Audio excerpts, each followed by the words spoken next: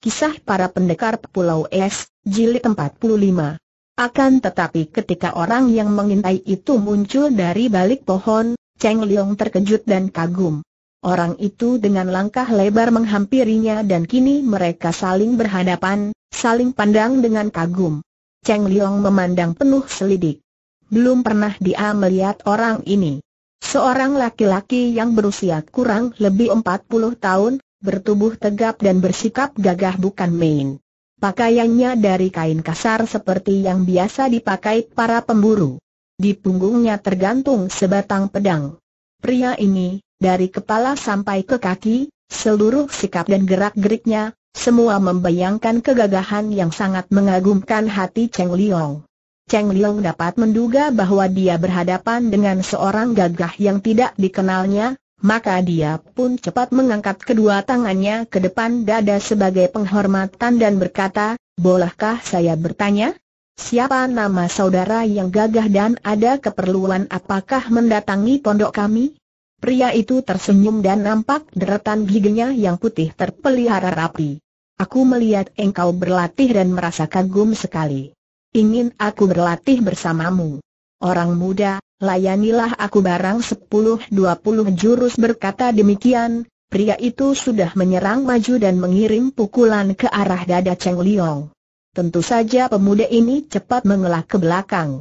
Akan tetapi, pukulan yang tidak mengenai sasaran itu sudah disusul oleh serangkaian pukulan lagi yang semakin lama menjadi semakin dahsyat. Plak, plak, Terpaksa Cheng Liong yang terdesak dan selalu mengelak ke belakang itu sekarang menggunakan lengannya menangkis. Tangkisan yang dilakukan dengan pengerahan tenaga dan akibatnya keduanya terkejut karena keduanya merasa betapa lengan yang beradu dengan lengan lawan itu tergetar hebat. Cheng Liong kini membalas serangan dan mereka segera terlibat dalam pertandingan yang seru, saling serang dengan jurus-jurus pukulan yang aneh dan dahsyat. Keduanya menjadi semakin gembira ketika mendapatkan kenyataan bahwa lawannya benar-benar amat tangguh. Karena dari care orang itu menyerang, Cheng Leong maklum bahwa orang itu memang hanya ingin mengujinya, maka dia pun melayani orang itu dengan gembira dan diam-diam dia pun mengerahkan tenaga dan kepandaian untuk memenangkan pertandingan itu. Ketika pertandingan yang seru itu sudah berlangsung kurang lebih 20 jurus, nampak bayangan dua orang berkelebat dan tahu-tahu Sumakian Bu dan Teng Xian sudah berdiri di tempat itu dan mereka menonton pertandingan itu dengan alis berkerut dan terheran-heran. Mereka tak mengenal siapa adanya pria gagah perkasa berpakaian pemburu yang bertanding dengan putra mereka itu. Akan tetapi, melihat gerakan kedua orang itu, suami istri sakti ini pun maklum bahwa mereka itu tidak berkelahi dengan sungguh-sungguh, melainkan lebih tepat kalau dikatakan berlatih atau saling menguji ilmu masing-masing. Mendadak, pria gagah perkasa yang mukanya dihias kumis dan jenggot pendek itu meloncat ke belakang, lalu menghadapi suami istri itu sambil menjura dengan sikap hormat dan muka tersenyum ramah. Aku berani bertaruh bahwa pemuda ini tentulah putra pendekar siluman kecil. Sumakian Bu dan istrinya cepat-cepat membalas penghormatan tamu itu. Siapakah saudara yang gagah perkasa ini tanyanya, ditujukan kepada tamunya dan kepada putranya juga. Cheng Liong tidak menjawab karena memang dia sendiri tidak mengenal orang itu. Akan tetapi laki-laki gagah perkasa itu tertawa bergelak. Hahaha begitu banyakkah aku berubah?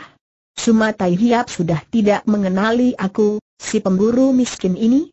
Sumakian Bu memandang lebih teliti kepada pria berusia 40 tahunan itu, kemudian wajahnya nampak berseri, sepasang matanya mencorong dan dia pun lalu berseru, Aih, kiranya saudara Sim Hang Bu.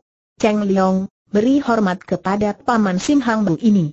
Dia adalah jagoan yang lihai sekali dari lembah Gunung Naga Siluman, hahaha Kian Bu girang bukan main dan Cheng Liong lalu memberi hormat kepada orang yang tadi telah mengujinya.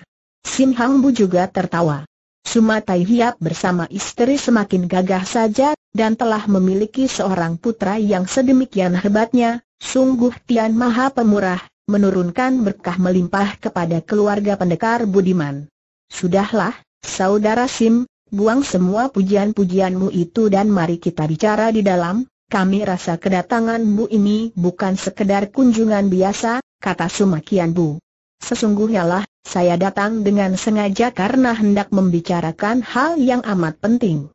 Dengan sikap gembira mereka berempat lalu memasuki pondok keluarga itu dan tak lama kemudian mereka sudah duduk di ruangan dalam, menghadapi hidangan dan minuman yang dikeluarkan oleh Teng Chiang En. Setelah makan hidangan sekedarnya dan saling menceritakan keadaan masing-masing, Sumakian Bu yang sudah tidak sabar lagi lalu bertanya. Nah, Saudara Sim, sekarang keluarkanlah isi hatimu. Apa sebenarnya maksud yang terkandung di hatimu dan yang mendorongmu jauh-jauh datang mengunjungi kami? Tidak begitu jauh, Sumatai Hiap, karena sudah semenjak kurang lebih tiga tahun lalu aku meninggalkan lembah Gunung Naga Siluman. Tai Hiap, apakah Tai Hiap sekeluarga selama ini tidak mendengar sesuatu yang sedang bergejolak di dunia para pendekar?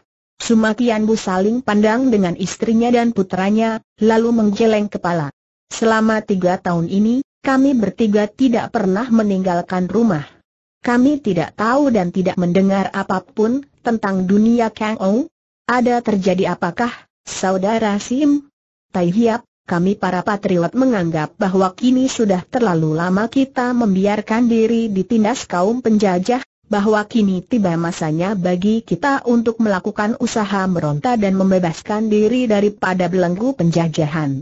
Sumakian Bu dan Teng Chiang In mendengarkan dengan alis berkerut. Itu berarti pemberontakan. Tapi, tapi, keduanya menggagap. Sim Hang Bu bersikap serius. Harap Jiwi jangan terkejut. Apa anehnya kalau kini para patriot bangkit? Hendaknya Jiwi tidak lupa bahwa negara dan bangsa kita telah dikuasai penjajah asing selama kurang lebih seratus tahun lamanya. Masih kurang lamakah itu? kekayaan tanah air dikeruk oleh bangsa lain. Semua kedudukan tinggi dipegang oleh tangan asing. Lihat ini Sim Hang Bu menggerakkan kepalanya dan kuncirnya yang tebal itu terlepas dari gelungnya.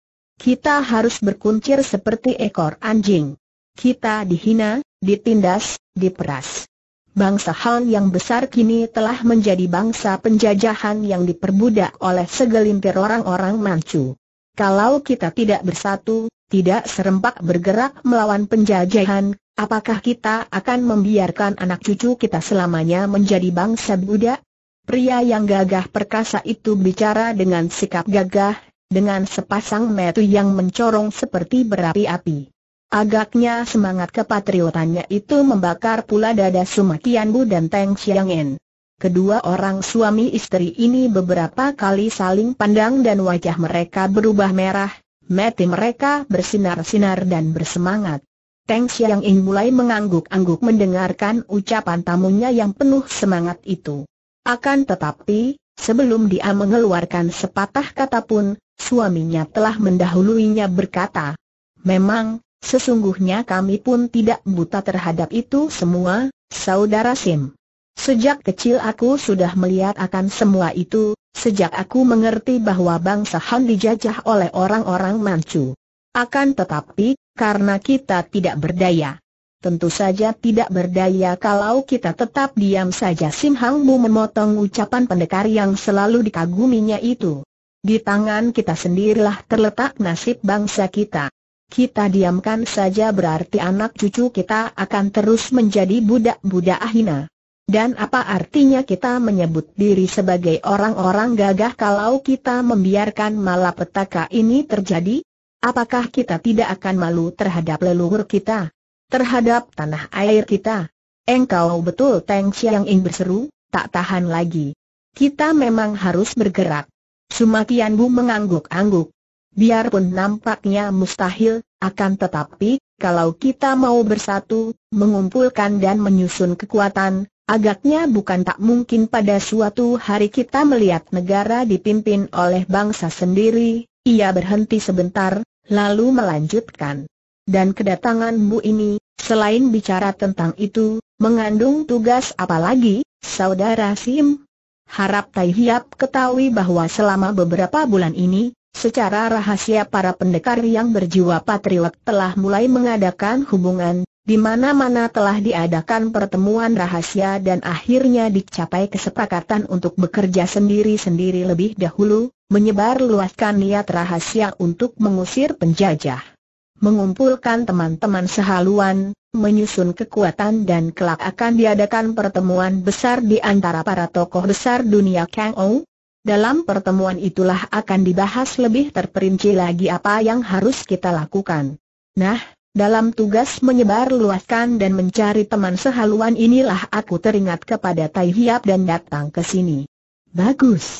Kami setuju sekali dan kami siap untuk membantu kata Sumakian Bu dengan nada suara gembira dan penuh semangat. Wajah pendekar ini berseri-seri sedangkan sepasang matanya semakin mencorong dan bersinar. Ah, sudah kuduga bahwa pendekar siluman kecil sekeluarganya yang gagah perkasa tentu akan mendukung. Perjuangan membebaskan tanah air dari cengkeraman penjajah ini membutuhkan persatuan tenaga semua pendekar, terutama sekali tenaga-tenaga muda seperti putra Sumatai Hiap ini. Sim Hang Bu memandang kepada Cheng Liong yang semenjak tadi nampak diam dan menundukkan mukanya saja itu. Sepasang alis pemuda itu kini berkerut dan dia tidak nampak segembira ayah ibunya. Tentu saja Cheng Liong akan menjadi seorang patriot dan membantu perjuangan para pendekar. Bukankah begitu, anakku kata Teng Xiang In dengan bangga. Pemuda itu mengangkat muka memandang ibunya, kemudian ayahnya dan tamu itu. Akhirnya dia menarik napas panjang. Nanti dulu, ibu. Aku tentu tidak bisa mengambil keputusan seketika saja. Peristiwa ini datangnya secara tiba-tiba sekali, membuat aku bingung dan banyak sekali hal-hal yang tidak aku mengerti. Hal-hal apakah yang belum kau mengerti? Ayahnya bertanya. Maaf, ayah. Aku sungguh merasa bingung melihat betapa ayah dan ibu secara tiba-tiba merubah pendirian menjadi berlawanan dari yang sudah-sudah seperti ini. Bukankah ayah dan ibu selalu menentang pemberontakan? Bukankah ayah juga selalu memihak kepada kaisar kalau terjadi pemberontakan? Bahkan ayah pernah bercerita kepadaku betapa ayah dan ibu menyelamatkan kaisar dari serangan kaum pemberontak. Dan sekarang, aku mendengar ayah dan ibu menyetujui Paman Sim ini dan berjanji akan membantu para pemberontak. Bagaimanakah ini? Liong Ji. Tidak pantas kau menegur ayahmu di depan tamu ibunya berseru menegur. Akan tetapi Sim Hang Bu dan Sumatian Bu nampak kagum dan wajah mereka berseri. Biarlah, dia berhak mengeluarkan ganjalan hatinya dan aku suka akan kejujurannya, kata Sumakian Bu. Hem, pertanyaan-pertanyaan Sumasiao Sicu tadi memang bagus, menandakan bahwa dia mempergunakan akal budi dan tidak hanya main ikut-ikutan saja seperti kebanyakan orang lain, kata pula Sim Hang Bu sambil mengangguk-angguk. Cheng Liong, kalau tidak diberi penjelasan, memang kebimbangan dan keraguan akan selalu menghantui batinmu. Engkau harus tahu membedakan antara pendekar dan patriot. Keduanya itu sama sekali berbeda. Tidak semua pendekar berjiwa patriot walaupun sebenarnya pendekar yang tidak mencinta dan membela tanah air dan bangsa bukanlah pendekar lengkap. Sebaliknya, tidak semua patriot berjiwa pendekar walaupun hal ini patut disayangkan. Adakah perbedaan antara pendekar dan patriot? Cheng Liong bertanya. Seorang pendekar adalah seorang pembela kebenaran dan keadilan dipandang dari sudut peri kemanusiaan. Seorang pendekar selalu membela yang lemah tertindas, dan menentang yang kuat dan jahat, tanpa memandang bulu, tidak melihat kedudukan atau derajat. Biar kaisar maupun pengemis, bila terancam dan membutuhkan pertolongan, tentu akan ditolongnya. Itulah sebabnya dahulu ayah ibumu menolong kaisar, ketika itu kami bertindak seperti pendekar. Akan tetapi seorang patriot adalah seorang pembela tanah air dan bangsa, baik untuk menentang pihak yang hendak mencelakakan bangsa maupun untuk berbuat sesuatu yang berguna bagi nusa bangsa. Kini, sebagai seorang patriot, aku harus membantu perjuangan yang hendak membebaskan tanah air dan bangsa dari cengkeraman penjajah Manchu. Akan tetapi, bukankah ayah sendiri mengakui bahwa Kaisar Kian Liong adalah seorang kaisar yang baik dan bijaksana bantah Cheng Liong? Mendengar pertanyaan ini, Sumakian Bu dan istrinya saling pandang dengan Sim Hang Bu yang tersenyum sabar dan mengangguk-angguk. Tiga orang sakti ini tentu saja maklum sepenuhnya akan pertanyaan itu. Mereka harus mengakui bahwa Kaisar Kian Liong adalah seorang kaisar bijaksana yang bahkan disayang oleh para pendekar. Cheng Liong, urusan patriot adalah urusan negara dan bangsa, bukan urusan pribadi atau perorangan. Tidak dapat disangka lagi bahwa Kaisar Kian Liong adalah seorang kaisar yang baik dan bijaksana. Akan tetapi jangan lupa bahwa dia itu kaisar penjajah. Pemerintahannya menindas dan memeras bangsa kita. Bukan pribadi Kaisar Tian Leong yang kita musuhi, melainkan pemerintah penjajah. Mengertikah engkau? Pemuda itu menggeleng kepala. Aku masih bingung, ayah. Menurut kitab-kitab sejarah yang pernah aku baca, ketika bangsa kita diperintah oleh pemerintahan bangsa sendiri, rakyat banyak pula mengalami penderitaan. Bahkan di zaman Beng Tiao sebelum bangsa Manchu datang, banyak tercipta kaisar lalim dan pemerintahannya menindas dan menghisap rakyat. Akan tetapi, Kaisar Tian Leong ini mencinta rakyat. Bukankah itu berarti bahwa pemerintah penjajah di dalam tangan Kaisar Tian Leong jauh lebih baik daripada pemerintah bangsa sendiri di dalam tangan Kaisar-Kaisar lalim? Ketiga orang sakti itu menggelengkan kepala. Tidak, tidak demikian, anakku. Hal ini menyangkut martabat bangsa. Betapapun jeleknya pemerintahannya, kalau berada di tangan bangsa sendiri, kekayaan tanah air tidak akan mengalir keluar. Pula, rakyat jelata akan dapat sewaktu-waktu mengganti kaisar seperti yang sering kali terjadi. Sebaliknya, kalau pemerintahan penjajah kita menjadi bangsa taklukan, menjadi budak dan mengalami penghinaan. Seperti keharusan memakai kuncir seperti ekor binatang, larangan membawa senjata, pajak-pajak yang berat, kerja paksa dan lain-lain, Sumakian Bu menjelaskan. Akan tetapi, kalau begitu mengapa tidak dari dulu-dulu ayah ibu bangkit menentang pemerintah penjajah? Mengapa ayah dan ibu pernah membantu pemerintah menentang pemberontakan? Itu lain lagi, anakku, kata ibunya. Kalau saatnya belum tiba, Patriot menyimpan saja cita-cita dalam hatinya dan kita bertindak sebagai pendekar. Bagi Patriot, yang penting adalah membantu dan membela rakyat. Pada garis besarnya, memang tugas para patriot adalah mengusir penjajah. Akan tetapi sementara itu, kalau saatnya belum tiba, lebih dulu kita membantu penguasa yang baik, menentang penguasa lalim. Tapi, bukankah sudah beberapa kali terjadi pemberontakan? Gubernur di Barat pernah memberontak ketika aku merantau ke sana, dan mengapa ayah ibu tidak membantu pemberontakan seperti itu? Bolehkah aku menjelaskan berkata Hang Bu, dan melihat Tuan dan Nyonya rumah mengangguk, dia melanjutkan. Ada bermacam-macam pemberontak, orang muda yang gagah pemberontakan yang dilakukan oleh golongan atau bangsa yang tadinya sudah menakluk, seperti Tibet atau Nepal.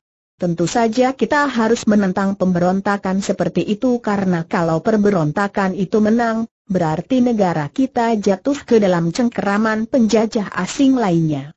Ada pemberontakan golongan penguasa yang berusaha merebut kekuasaan demi ambisi pribadi, dan pemberontakan macam ini pun tidak akan didukung para patriot karena golongan itu tidak mewakili rakyat. Para patriot sudah menanti sampai 100 tahun, menanti kesempatan baik. Dan kini masanya tiba para patriot ingin menyumbangkan tenaga, berjuang membebaskan rakyat, mengusir penjajah. Kita usir penjajah teriak Sumakian Bu dan istrinya. Melihat ini, Cheng Liong mengerutkan alisnya. Ayah, satu pertanyaan lagi. Tanyalah. Tapi harap ayah dan ibu tidak marah. Mengapa marah? Pertanyaan jujur memang terdengar kasar dan menyakitkan, akan tetapi baik sekali. Nah, ayah dan ibu kini bersikap menentang pemerintahan penjajah Manchu. Akan tetapi, ayah, ada suatu kenyataan dalam keluarga kita yang tak dapat dibantah oleh siapa pun juga, yaitu bahwa keluarga Pulau Es tidak dapat dipisahkan dengan keluarga kerajaan Cheng. Ayah, bukankah dalam tubuh kita masih mengalir darah mancu? Apakah kita harus melupakan kenyataan bahwa nenek Nirahai adalah seorang putri mancu yang bahkan pernah menjadi panglima? Dan Bibi Putri Milana pernah menjadi panglima juga? Bukankah mendiang kakek Sumahon tidak pernah menentang kerajaan? Mendengar pertanyaan ini, Teng Siang In terbelalak lalu menundukkan mukanya. Juga Sim Hang Bu terkejut dan menundukkan muka. Mereka ini tahu betapa gawatnya pertanyaan itu dan hendak menyerahkan jawabannya sepenuhnya kepada pendekar siluman kecil itu. Sumakian Bu sendiri terdiam dan agaknya pertanyaan anaknya ini merupakan serangan yang membuatnya lumpuh sejenak. Akan tetapi, dia pun lalu tersenyum dan menatap wajah putranya dengan tenang. Liong Ji, dengarkan baik-baik. Aku tak pernah menyangkal bahwa ibuku, yaitu nenekmu Putri Nirahai, adalah seorang putri mancu. Akan tetapi lihatlah kenyataannya. Beliau sampai tua pergi ikut suaminya, hidup di pulau es kakekmu, mendiang ayahku itu pun tidak pernah membantu pemerintah Manchu. Mereka memang tidak memperlihatkan permusuhan, tidak bersikap menentang kerajaan Manchu, akan tetapi karena selama itu belum pernah para patriot berkesempatan untuk bangkit. Lihat saja. Bukankah bibimu, Putri Milana juga sekali waktu saja menjabat Panglima, hanya untuk memadamkan pemberontakan golongan lain dan sama sekali bukan pemberontakan para patriot? Hendaknya engkau mengetahui betul. Putri Milana juga pergi mengikuti suaminya, pamanmu yang gagah perkasa Gak Bun Beng, menyepi di puncak telaga warna di pegunungan Bengsan. Memang banyak pendekar-pendekar besar yang membantu pemerintah Mamcu di bawah pimpinan Kaisar Tian Leong sekarang ini, dan hal itu tak dapat terlalu disalahkan. Seperti kau dengar tadi, tugas seorang patriot terbagi dua. Kalau para patriot belum sempat bangkit mengusir penjajah, mereka itu bertugas melindungi rakyat dan mengarahkan pemerintahan penjajah itu pada jalan yang benar, dan hal itu baru dapat dilaksanakan kalau mereka duduk di dalam roda pemerintahan itu sendiri. Mengertikah engkau? Mendengar kuliah-kuliah yang diberikan oleh ayahnya, ibunya dan kadang-kadang Sim Hang Bu juga memberi penjelasan, akhirnya Sumat Cheng Liong mengerti dan dia pun menyambut cita-cita perjuangan para patriot itu dengan semangat menyala-nyala. Sampai larut malam empat orang itu bercakap-cakap, hanya diselingi makan minum, dan Sim Hang Bu menceritakan dengan panjang lebar tentang usaha yang dilakukan oleh para patriot sampai sekarang menghubungi para pendekar sehaluan, menyelidiki keadaan dan kekuatan pemerintah. Ada satu hal yang amat penting dan yang menjadi bahan perundingan kawan-kawan seperjuangan, antara lain Sim Hang Bu bercerita, yaitu mengenai diri Jenderal Muda Kao Chin Leong. Tentu saja nama ini membuat keluarga Suma itu tertarik sekali, terutama sekali Cheng Leong yang mengenal baik jenderal yang dimaksudkan itu, yang membuat dia teringat akan semua pengalamannya di Pulau Es menjelang hancurnya dan lenyapnya pulau itu. Paman Sim, ada apakah dengan Kanda Chin Leong tanyanya? Mendengar sebutan ini, Sim Hang Bu mengangguk-angguk. Aku sudah mendengar bahwa antara keluarga kau dan keluarga Suma terdapat hubungan yang cukup dekat. Dan karena itu pula aku datang. Apakah yang terjadi Sumakian Bu khawatir? Kami baru saja menerima kabar baik dari kota raja, yaitu undangan pernikahan Jenderal Kao Chin Leong dengan keponakanku, Sumahawi. Bagus. Kami pun sudah mendengar akan berita pernikahan itu. Saat yang tepat bagi kita semua untuk berkumpul di kota raja. Kami semua merasa khawatir melihat betapa Jenderal Kao Chin Leong menjadi seorang panglima yang amat disayang dan dekat sekali dengan Kaisar. Dia dan keluarganya akan merupakan kawan seperjuangan yang amat kuat dan menguntungkan, sebaliknya akan menjadi lawan yang berbahaya. Dan maksudmu dengan kami tanya Kian Bu? Demi perjuangan, semua kawan mengharapkan Tai Hiap dapat melakukan penjajagan, menyelidiki kemungkinan-kemungkinan menarik jenderal itu ke pihak kita. Ia menguasai pasukan besar dan amat berpengaruh. Kalau kita berhasil menariknya, berarti bahwa setengah dari perjuangan kita sudah menang. Sumakian Bu mengangguk-angguk dan mengelus jenggotnya. Memang siasat itu bagus sekali. Akan tetapi engkau juga tahu, saudara Sim, bahwa ayah jenderal itu adalah pendekar naga sakti gurun pasir. Kita tidak boleh sembarangan bertindak. Agaknya untuk menarik jenderal itu, harus lebih dulu meyakinkan ayahnya. Sayang aku tidak terlalu dekat dengan keluarga kau. Serahkan saja padaku, ayah. Aku sudah kenal baik dengan Jenderal Kau Chin Leong. Aku dapat mengunjunginya dan perlahan-lahan menjajagi hatinya, melihat bagaimana nada bicaranya, kata Cheng Leong. Ayahnya mengangguk setuju. Tepat sekali dan engkau boleh pula mewakili kami mengadakan kontak dengan para patriot lain, Cheng Liong. Kami berdua sudah tua. Kami hanya akan turun tangan membantu kalau saat perjuangan itu tiba. Setelah mengadakan perundingan matang, pada keesokan harinya, Sim Hang Bu berpamit. Tiga hari kemudian, Cheng Liong juga meninggalkan orang tuanya untuk mulai dengan perantauannya, Sekali ini kepergiannya berbeda dengan ketika dia hilang diculik Hek Imoong. Kini dia melakukan perjalanan sebagai pendekar muda yang lihai sekali, yang mewakili orang tuanya untuk mengadakan kontak dengan para patriot, membantu persiapan perjuangan dan berusaha menarik Jenderal Kao Chin Leong ke pihak para pejuang. Dia kini sudah berusia hampir 19 tahun dan dalam hal ilmu silat, dia sudah setingkat dengan ayahnya. Hanya mungkin dia masih kalah dalam hal ginkang, akan tetapi sudah pasti dia lebih kuat dalam hal sinkang. Dia kini dapat mempergunakan sumber tenaga sinkang yang diterima langsung dari kakeknya, mendiang Sumahon atau pendekar super sakti atau majikan Pulau Es. Bahkan kini dia telah menguasai pula ilmu sihir yang diajarkan oleh ibunya kepadanya. Rumah perkumpulan Pek Eng Pang di kota Namsan di sebelah selatan Taigoan pada pagi hari itu nampak ramai sekali dikunjungi banyak tamu. Pek Eng Pang, perkumpulan Garuda Putih, adalah sebuah perkumpulan atau perguruan silat yang sangat terkenal. Ketuanya, Seng Pang Chu yang usianya sudah 50 tahun lebih adalah seorang murid Xiao Lim Pai, tentu saja lihai ilmu silatnya. Karena dia mempunyai keistimewaan dalam ilmu silat Garuda dan mengembangkannya, maka dia menamakan perguruannya Pek Eng Pang. Dia dan para muridnya selalu memakai baju putih, sesuai pula dengan nama perkumpulan. Seng Pangcu terkenal sebagai orang gagah yang rendah hati dan semua muridnya menerima gemblengan keras sehingga para murid itu selain pandai bersilat, juga pandai membawa diri dalam masyarakat. Hal ini membuat Pek Eng Pang terpandang dan dihormati golongan Kang Ou. Tidak mengherankan apabila pada pagi hari itu rumah perkumpulan Pek Eng Pang dibanjiri tamu yang rata-rata adalah ahli silat dan orang-orang gagah, karena pada hari itu Pek Eng Pang merayakan hari ulang tahun ke-10 dari perkumpulan itu. Mereka terdiri dari wakil-wakil perguruan silat, Tiao Su, orang-orang gagah dan bahkan ada pula golongan perorangan yang tidak diketahui benar kedudukannya, mungkin dari golongan hitam. Akan tetapi mereka semua disambut dengan hormat oleh Song Pangcu sendiri yang ditemani empat orang murid pertama yang bersikap gagah. Para tamu kehormatan dipersilakan duduk di panggung kehormatan bersama pihak tuan rumah. Tamu-tamu yang tidak dikenal pun dipersilakan duduk di panggung samping kiri.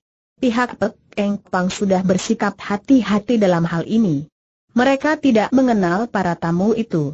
Siapa tahu di antara mereka terdapat orang-orang pandai. Maka agar cukup menghormat, mereka dipersilakan duduk di panggung kiri. Panggung kanan ditempati wakil-wakil perkumpulan lain yang memiliki kedudukan sebagai murid saja, sedangkan orang-orang muda diberi tempat paling belakang. Ketika tidak nampak ada tamu baru, hidangan mulai dikeluarkan, disambut gembira oleh para pemuda yang duduk di bagian belakang.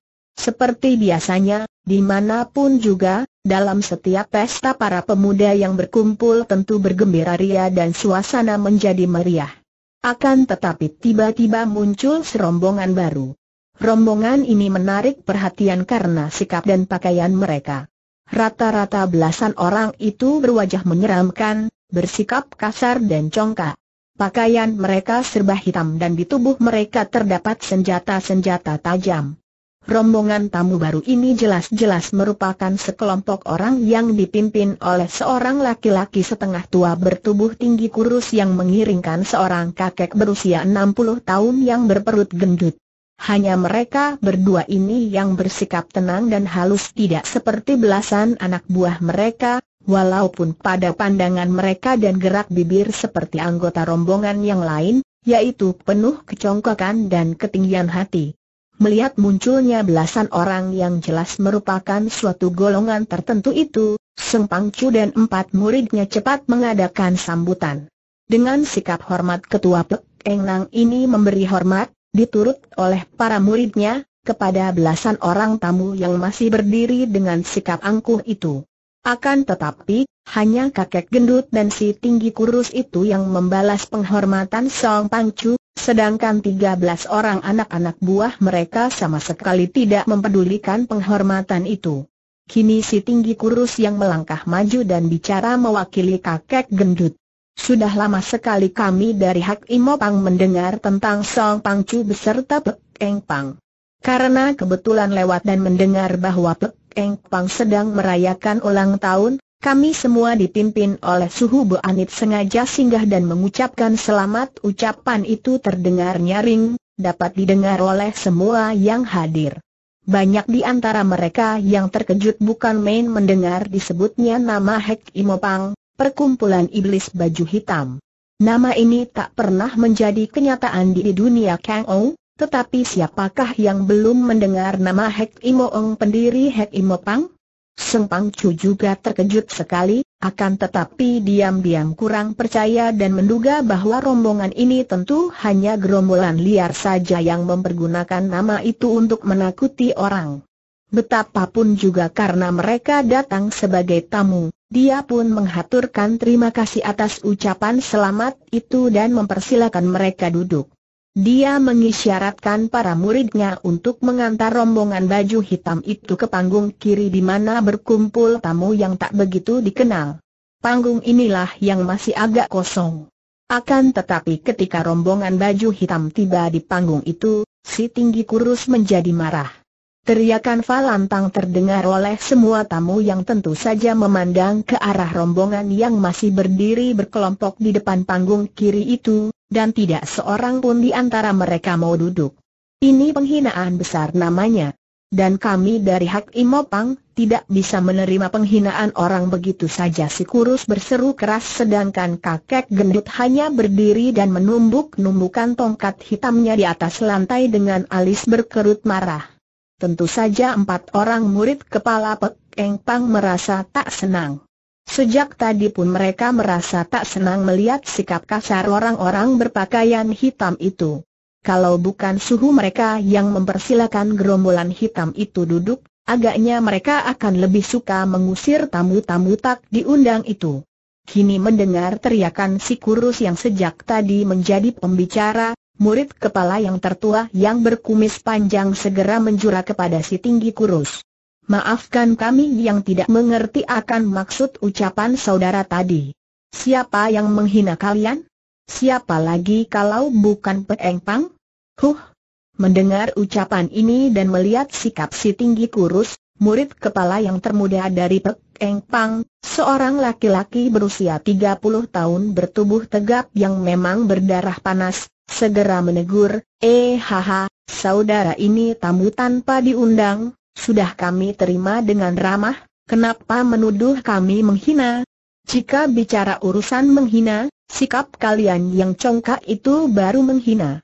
Si tinggi kurus mendelik ketika dia menoleh kepada murid Pek Eng Pang itu, kemudian bertanya lambat-lambat dengan nada suara yang memandang rendah, kamu ini murid Pek Eng Pang yang kelas berapa?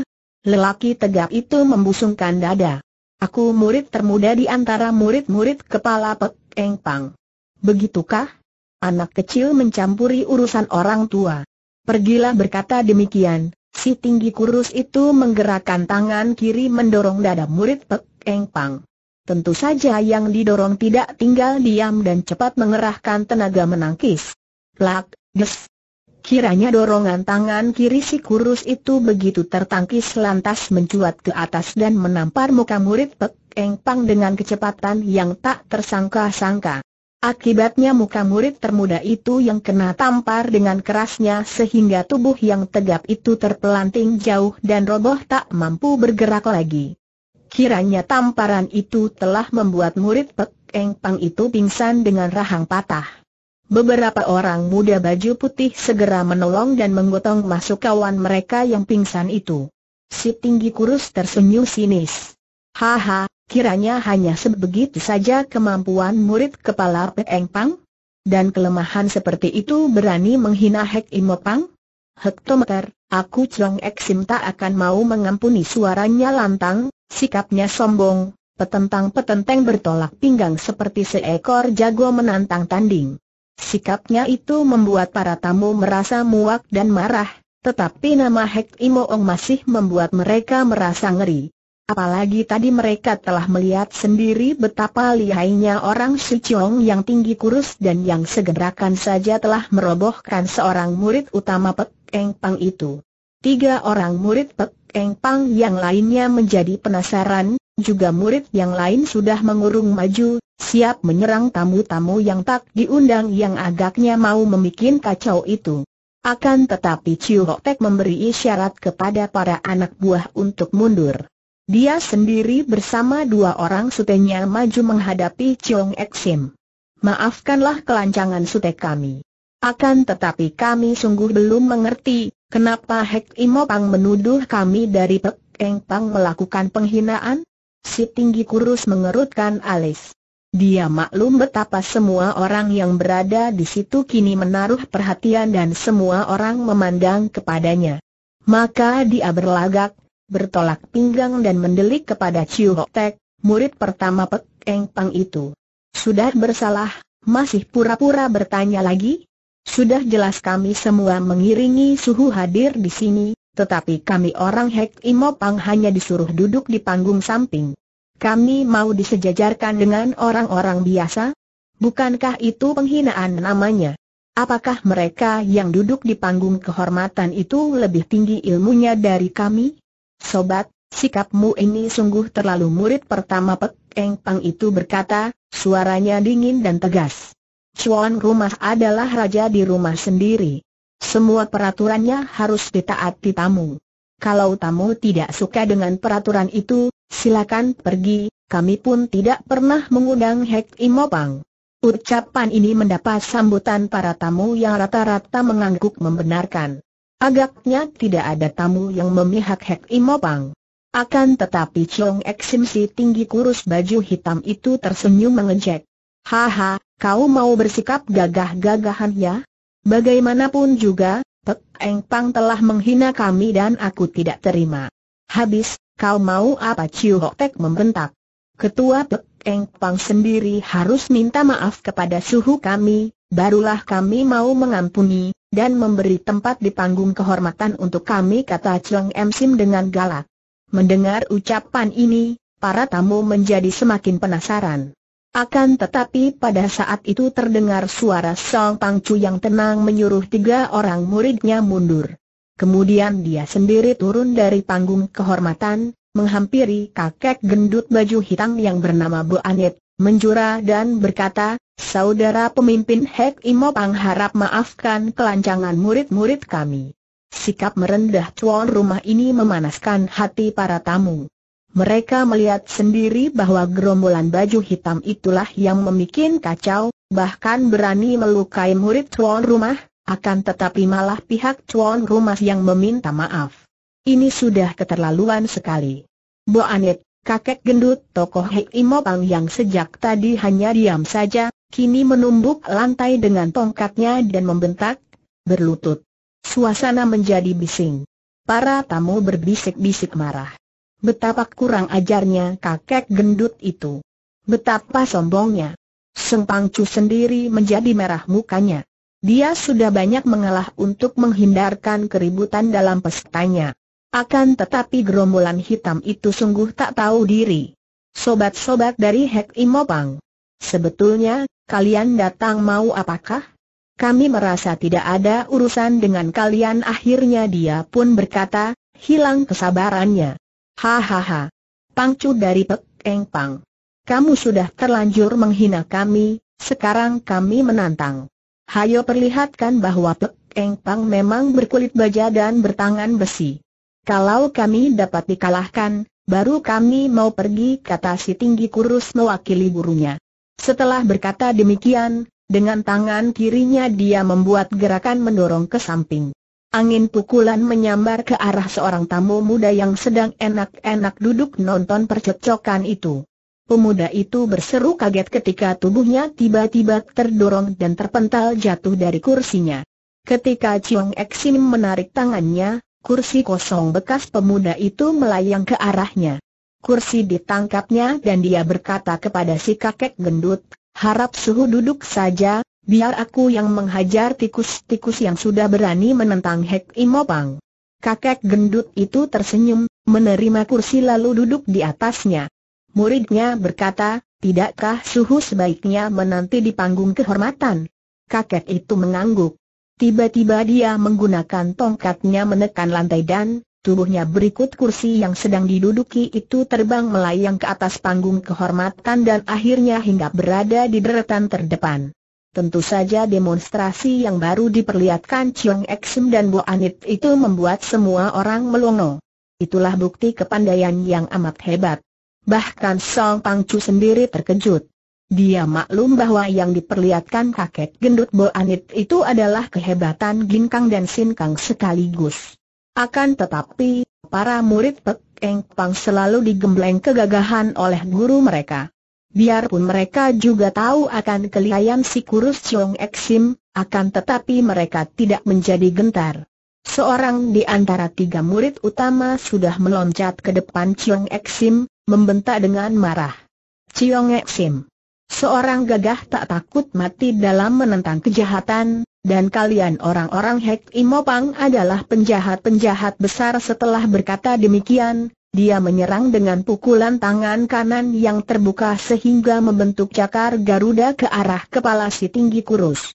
Itulah jurus serangan Peengkun, silat Garuda putih, ciptaan Song Pangcu sebagai perkembangan dari ilmu silat Garuda Xiao Limpai. Plak. Tanpa merubah kedudukan tubuhnya, seenaknya saja Chiong Eksim menangkis dengan tangan kiri, akan tetapi agaknya dia sudah mengerahkan tenaganya sehingga tubuh murid Pek Eng Pang terhuyung ke belakang. Haha, tikus macam kamu ini tidak ada harganya, tak pantas melawanku. Suruh saja gurumu yang maju, atau kalian bertiga maju berbareng Chiong Eksim tertawa dengan congkaknya.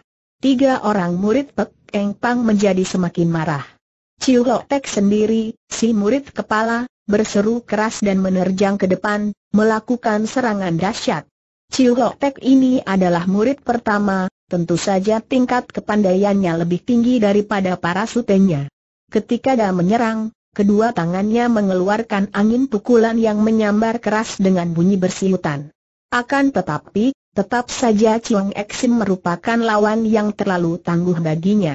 Semua pukulan atau cengkeramannya dapat dilakan atau ditangkis dan dia pun hanya dapat bertahan selama sepuluh jurus saja karena begitu Chong Eksim membalas dengan tendangan kaki yang menyambar dari samping, lambungnya terkena tendangan yang membuat tubuhnya terbanting cukup keras. Dua orang sutenya maju menyerang, tetapi mereka pun bukan lawan yang seimbang, segera disambut tamparan dan tendangan yang membuat mereka jatuh bangun. Chiong Eksim menghajar tiga orang murid pertama Pek Eng Pang sambil tertawa-tawa. Jelas dia mempermainkan karena kalau dia menghendaki, agaknya dengan mudah dia akan mampu membunuh tiga orang lawan itu. Kini semua tamu menjadi terkejut. Mereka semua kini tahu bahwa orang Hek Imopang itu lihai bukan main. Tiga belas orang anak buah Hek Imopang dengan mudah segera memperoleh kursi yang ditinggalkan para tamu yang menjauhkan diri, nonton sambil bersorak dan tertawa-tawa, kadang-kadang bertepuk tangan setiap kali tangan Chiong Eksim merobohkan seorang lawan. Suasana menjadi tegang. Para tamu memandang marah, tegang dan khawatir. Hanya orang-orang Hek Imopang itu saja yang gembira sambil menyambar guci-guci arak dan meminumnya. Haaait! Seorang murid Pek Eng Pang menyerang dengan tubuh meloncat dan menerkam. Inilah jurus Garuda Putih menyambar ayam yang dilakukan sambil meloncat, merupakan jurus serangan nekat dan berbahaya, baik yang diserang maupun yang menyerang. Akan tetapi, sambil tersenyum mengejek, Chiong Eksim menyambutnya dengan tendangan keras yang mengenai perut lawan. Ngek! Tubuh murid Pek Eng Pang itu terpental dan terbanting dalam keadaan pingsan. Anak buah Hek Imo Pang bersorak gembira. Hiaat! Murid kepala Pek Eng Pang yang kedua juga menerjang marah, bahkan sekali ini dia menggunakan sebatang pedang. Namun Chiong Eksim dapat mengelak dengan mudah. Ketika pedang itu lewat, Tendangan kakinya pada tangan lawan membuat pedang terlempar ke atas lantai kemudian sekali sambar, tangan kirinya menjambak rambut kepala lawan dan tangannya menampari kedua pipi lawan. Terdengar suara plak-plok berkali-kali dan ketika dia melepaskan jambakan dan mendorong, tubuh lawan itu terpelanting tak mampu bangun lagi, dengan kedua pipi bengkak-bengkak matang biru. Melihat ini, Ciu Hok Tek kemudian menjadi nekat. Di antara empat orang murid kepala Pek Eng Pang, tiga orang sudah roboh pingsan dan digotong pergi kawan-kawannya, tinggal dia seorang sebagai murid pertama. Tadi pun kalau dia tidak bertindak hati-hati dan pertahanannya lebih kuat daripada sutenya, tentu dia pun sudah roboh. Biar aku mengadu nyawa denganmu teriaknya marah dan dia pun menerjang sengit, mengirim pukulan-pukulan dan tendangan-tendangan bertubi-tubi dan dahsyat karena dia telah mengeluarkan semua kepandaian dan mengerahkan seluruh tenaganya. Tingkat kepandaian Chiu Hok Tek tidak boleh disamakan dengan tingkat para sutenya. Biarpun dia masih bukan tandingan murid kepala Hek Imopang, namun desakan yang dilakukan dengan nekat itu sempat membuat lawan terhuyung dan sebuah tendangan kilat sempat mencium pinggul Chong Eksim. Melihat ini, terdengar sorakan gembira yang segera disusul tepuk tangan pujian para tamu. Jelaslah, para tamu ini ingin sekali melihat si tinggi kurus yang congkak itu kalah. Si tinggi kurus menjadi marah, melirik ke arah orang yang pertama kali menyorakinya tadi. Kiranya orang itu adalah pemuda yang tadi kursinya dirampas untuk diberikan kepada gurunya. Pemuda itu memang kelihatan gembira sekali dengan desakan murid Pek Eng Pang tadi dan kini pun masih bertepuk-tepuk tangan walaupun tamu-tamu lain sudah berhenti bersorak karena dia telah mampu mematahkan serbuan Chiu Hok Tek. Hem, hanya sekiankah kepandaianmu? Keluarkan semua, atau kamu berlutut minta ampun dengan mencium kakiku, baru akan kuampuni kamu kata Chong Eksim dengan lagak sombong. Pemuda bersorak tadi kini berteriak, Ciu Eng Hiong, hajar monyet hitam itu. Pukul dan tendang lagi. Teriakannya ini pun diikuti teriakan banyak orang untuk menambah semangat pria baju putih yang mewakili Pek Eng Pang itu. Namun diam-diam Ciu Hok Tek terkejut sekali.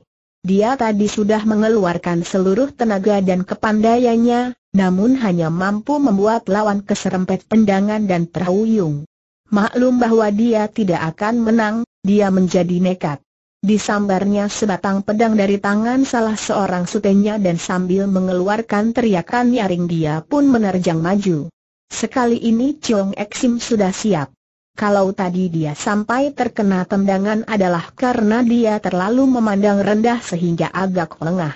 Kini, melihat lawan menyerang dengan pedang, dia menghadapi dengan tangan kosong saja. Si baju hitam itu mendengus penuh ejekan dan tubuhnya berkelebatan menjadi bayangan bergerak-gerak lincah di antara sambaran sinar pedang. Plak! Tiba-tiba dengan tangan terbuka Ciong Eksim menangkis pedang membuat pedang terpental dan hampir terlepas. Ciu Tek kaget bukan main, demikian pula para tamu. Si tinggi kurus itu demikian lihainya sehingga berani menangkis pedang dengan tangan terbuka bukan hanya menangkis karena di lain saat dua buah tangan yang jerinya kecil-kecil panjang itu sudah berhasil pula menangkap pergelangan tangan Chiu Hok Tek sedemikian kuatnya membuat murid Pek Eng Pang itu tidak mampu berkutik. Akan tetapi Hok Tek sudah nekat. Karena kedua tangannya seperti terjepit baja yang amat kuat, dia lalu menggerakkan kaki untuk menendang ke arah selangkangan lawan. Hei hei hei hei Chiong Eksim terkekeh mengejek dan menekan tangan lawan yang memegang pedang ke bawah. Hok Tek terkejut, tetapi sudah terlambat untuk menghindar.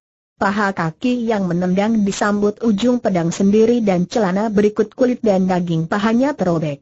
Darah munkrat dan terpaksa dia melepaskan pedangnya.